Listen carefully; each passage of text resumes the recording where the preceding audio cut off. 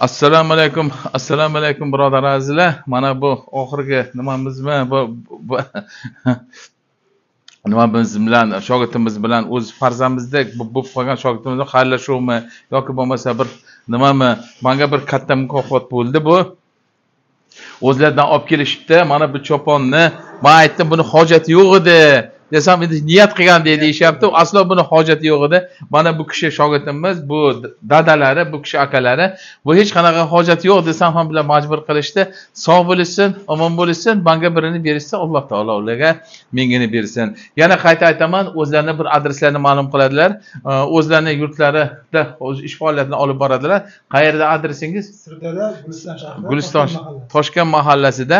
Nihoyatda bu o'sha o'ziga no- yetishgan nihoyatda chiroyli bo'ldi. Mana bu bizga choponni e, urf eski qadimiy ota bobolar urf odatlari bilan manga kiygizishmoqchi e, shuni bir sizlar ham guvoh bo'lib qolinglar manga aslo hojati yo'q edi shuni. Ammo qandaydir bir xursandchilik bilan olarkanmiz. Bu mehnatimizga berilgan e, bir mukofot deymiz. Mana bu o'zimizni o'sha e, haligi yurtimizni nimalari urf odati. Ancha xursand bo'ldim. Ko'nglim tog'da ko'tarildi. Negaki bu hammaga ham e, loyiq emas bunchalik bir e, chin dildan bu chiqarib haligi nima deydi e, bir mukofot olish biz uchun juda bir katta narsa bo'ldi.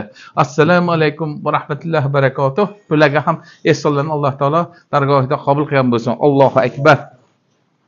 Rahmat sizlarga. Va aytib qo'ydimmi? Nima xalq ko'rsin nima bo'lsin bilsin.